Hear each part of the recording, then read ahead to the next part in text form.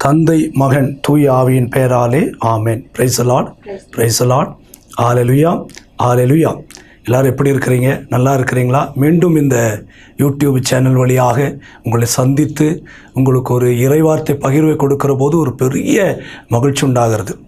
நிறைய பேருடைய வாழ்க்கையில் நான் பல நேரங்களில் ஜெபித்து பார்த்துட்டேன். எப்படி எப்படியோ ஜெபிச்சிட்டேன். ஆனால் என் ஜெபங்கள் கேட்கப்படுறதில்லன்னு ஒரு மிகப்பெரிய மன வருத்தம் ஒவ்வொருவருக்கும் இருக்கிறது. என்னுடைய ஜெபம் கேட்கப்படுமா?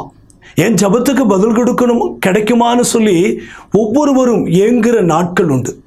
நிறைய பேர் நினைக்கிறாங்க நான் என்னென்னவோ பண்ணி ஜெபிச்சிட்டேன் பிரதர் ஆனால் என் ஜெபத்துக்கு பதிலே இல்லையே என்று சொல்லி ஏங்கி தவிக்கிறவர்களுக்கு ஆண்டோர் சொல்கிறாரு உன்னுடைய ஜெபம் கேட்கப்படணும்னா முதல்ல உன்னோட கிட்ட நீ எப்படி தான் நீ எவ்வளவு பாரப்பட்டு நீ பிரயாசப்பட்டு நீ அதிகமான ஜெபத்து நேரங்களில் நீ செலவழித்தாலும் உன்னை நீ தாழ்த்தி கொள்ள வேண்டும் என்று விபிலியன் சொல்கிறது சீராக்கு புத்தகம் முப்பத்தி அஞ்சாவது அதிகாரம் பதினேழாவது இறைவார்த்தையில் தங்களை தாழ்த்துவோரின் வேண்டுதல் முகிலைப் போல ஊடுருவி செல்லும் என்று விபிலியம் சொல்கிறது அப்போ அவர் தங்களை யாரெல்லாம் தாழ்த்தி கொண்டு ஜெபிக்கிறார்களோ அவர்களுடைய ஜெபங்கள் முகிலைப் போல ஊடுருவி செல்லும் என்று சொல்லி விபிலியம் சொல்லுகிறார் உன்னுடைய ஜெபம் கேட்கப்படணும்னா முதலாவது நீ உன்னை மிகுந்த தாழ்ச்சிக்குள்ள கொண்டு வரணும். அப்பொழுது உங்களுடைய ஜெபம் கேட்கப்படும். பல நாட்கள் பல வாரங்கள் பல மாதங்கள் பல வருஷங்கள் நான் ஜெபித்து பார்த்தும் என்னுடைய ஜெபங்கள் இன்னைக்கு கேட்காமல் நின்று போய் இருக்கிறது என்ன காரணம் என்று சொல்கிறவர்களுக்கு இதுதான் முக்கியமான ஒரு காரணம். உன்னை நீ தாழ்த்தி கொள்ளணும். நிறைய பேர் என்ன நினைக்கிறாங்க? கடவுள் முன்னால மட்டும் நம்மளை தாழ்த்திக்கிட்டா போதும்னு நினைக்கிறாங்க. அப்படி அல்ல. என்னோட வாழ்க்கையில் உங்களுடைய வாழ்க்கையில் இந்த ஜெபங்கள் கேட்கப்படணும்னா முகிலை போல ஊடுருவி கடவுளிடத்தில் போகணும்னா இந்த ஜபங்களெல்லாம் தூபங்களை போல பரலோகத்துக்கு போய் அங்கிருந்து ஆசீர்வாதத்தையும் விடுதலைகளையும் பதிலையும் கொண்டு வர வேண்டும் என்று சொன்னால் நானும் நீயும் தாழ்த்திக்கணும். எப்படி தாழ்த்தணும்? இறைவனுடைய பாதத்தில் மட்டுமல்ல ஒவ்வொருத்தருக்கிட்டையும் நீ தாழ்த்தணும். ஒருவேளை நீ ஒரு மனைவியா இருந்தால் உன் கணவனிடத்தில் நீ தாழ்த்தணும். நீ ஒரு அரசு ஊழியராக இருந்தால் அரசு அதிகாரியாக இருந்தால் உனக்கு மேலே இருக்கிற அதிகாரிகளிடத்திலே உன்னை தாழ்த்தி கொள்ளணும். அதே போல ஒவ்வொரு இடத்திலும் தாழ்த்தணும். பெற்றோர்களிடத்திலே உன்னை தாழ்த்தி கொள்ள வேண்டும். அதே போல அதிகாரிகளிடத்தில் தாழ்த்தி கொள்ள வேண்டும். நீ யாருக்கிட்டெல்லாம் உன்னை விட உயர்வாக இருக்கிறார்களோ உன்னுடைய வயது உயர் வது- வயது முதிர்ந்தவர்கள் ஒவ்வொரு இடத்திலும் உன்னை நீ தாழ்த்தி கொள்ள வேண்டும். நீ தாழ்த்தி கொள்ளுகிற போது ஆண்டவருடைய ஜபத்தை கேட்பார் என்று சொல்லப்படுது தானியல்ல பார்க்கிற தானியல் புத்தகம் பத்தாவது அதிகாரம் பன்னிரெண்டாவது இறைவாத்திலே தானியலே அஞ்ச வேண்டாம் உயிர்த்துணர வேண்டாம். அவர் சொல்றாரு இறைவாத்தில தெளிவாக சொல்வாரு என்னும் உள்ளத்தோடு உன் கடல் முன்னிலையில் நீ உன்னை தாழ்த்தி கொண்ட நாள் முதல் தொடங்கி உன் மன்றாட்டு கேட்கப்பட்டு வருகிறது. எப்போ நீ தாழ்த்தினாயோ அப்பொழுதுலேருந்து உன் ஜெபம் உன்னை கேட்கப்பட்டு வருகிறது என்று சொல்லப்படுது. இப்போ நம்மளை தாழ்த்தி ஜெபிக்கிற போது நம்மளுடைய ஜெபங்கள் கேட்கப்படும். நம்மளை முழுவதுமாய் ஒப்பு கொடுத்து ஜெபிக்கணும். அதனால் ஆண்டவர் சொன்னார் ஆண்டவருடைய பாதத்தில் உங்களை முழுவதுமாய் தாழ்த்துங்கள்.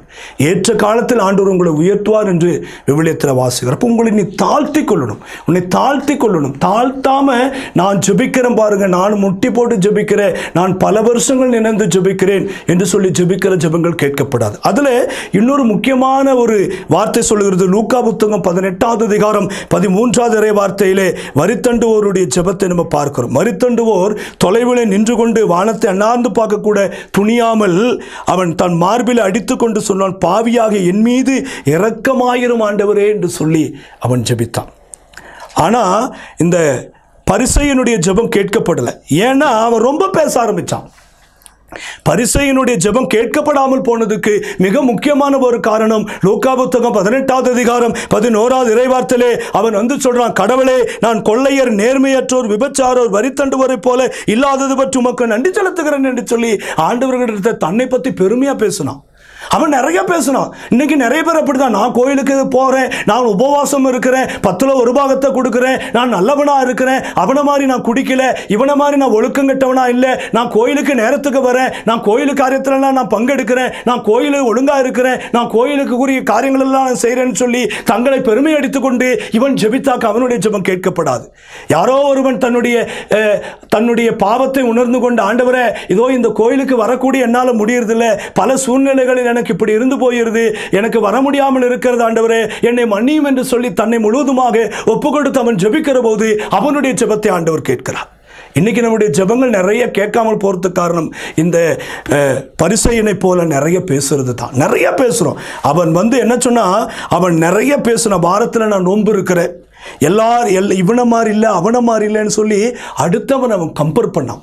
அப்போ என்னைக்கு உன்னை நீ தாழ்த்தி கொள்கிறாயோ என்னைக்கு அந்த அந்த வரித்தை அந்த வரித்தண்டுவரை போல உன்னுடைய ஜபத்தை தாழ்த்தி ஆண்டவரே உன்னுடைய வாசப்படியில் வருவதற்கு உம்மிடத்தில் வருவதற்கு நான் தகுதியற்றவன் ஆண்டவரே என் மீது இரக்கமாயிரும் ஆண்டவரே என் பாவத்தை மன்னியும் ஆண்டவரே என்று சொல்லி ஜபிக்கிற போது ஆண்டவருடைய ஜபத்தை கேட்பா. அப்போ உன்னுடைய ஜபம் தடைபடுறதுக்கு காரணம் நீ உன்னை பற்றி வச்சிருக்கிற மேட்டின்மையான ஒரு மேன்மையான சிந்தனை தான். அந்த சிந்தனை மாறணும். நாம் மாறணும். என்னைக்கு நாம் மாறணும்? நம்ம மாறுகிற போது கடவுள் நம்மளை ஆஸ்வதிக்க நம்ம ஏற்க ஏற்கனவே பார்த்தது போல ரெண்டு குறிப்பீடு ஏழாவது அதிகாரம் பதினேழாவது இறைவா சொல்லுது என் மக்கள் சிறுமையுற்று தங்கள் பாவங்களிலிருந்து மனம் இறந்தி மன்றாடி என் திருமுகத்தை நாடினால் வானத்திலிருந்து அவர்களை மன்றாட்ட கேட்டு என்று வெளியில் சொல்லுகிறது.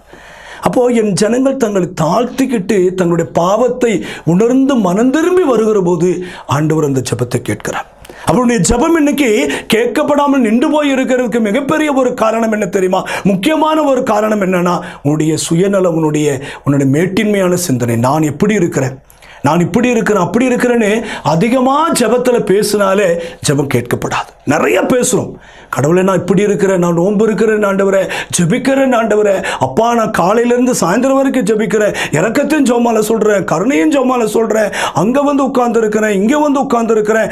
ஆலயத்திலே நான் பகுதி நேரத்தை செலவு பண்ணுறேன்னு சொல்லி தற்பெருமையாக நீ பேசிக்கொள்கிற போது உன்னுடைய ஜெபங்கள் நின்று போயிருக்கு.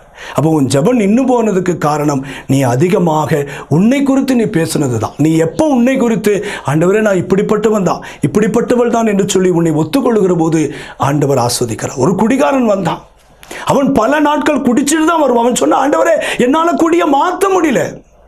நீ எனக்கு மாற்றி கூட ஆண்டவரே. நான் மாற்றணும்னு நினைக்கிறேன் ஆனால் என்னால் மாற்ற முடியல. ஆனால் உன்னால் மாற்ற முடியும் ஆண்டவரேன்னு சொல்லி ஒவ்வொரு நாளும் அவன் குடித்தவர் இருந்தாலும் அவன் ஆண்டவருடைய சமூகத்தில் வந்து ஆண்டோட்ட கேட்டால் எனக்கு மாற்றி கொடு. எனக்கு ஆசை இருக்கிறது ஆண்டவரே. ஆனால் நான் மாறணும்னு ஆசைப்படுறேன் ஆண்டவரே. ஆண்டவரே எனக்கு ஜபிக்க தெரியாது. மற்றவர்களைப் போல பல மணி நேரம் உட்கார்ந்து ஜெபிக்க முடியாது ஆண்டவரே. ஆனால் எனக்கு ஒன்று மட்டும் சொல்ல தெரியும். என்னை மாற்றி கொடு ஆண்டவரே.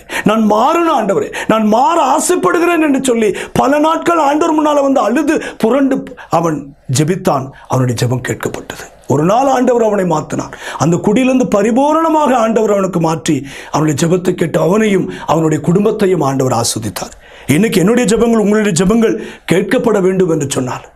ஆண்டவரிடத்தில் நம்ம வர வேண்டும் என்று சொன்னார். நம்முடைய ஜெபங்கள் கேட்கப்பட வேண்டும் என்று சொன்னார். நானும் நீயும் தாழ்த்திக்கணும்.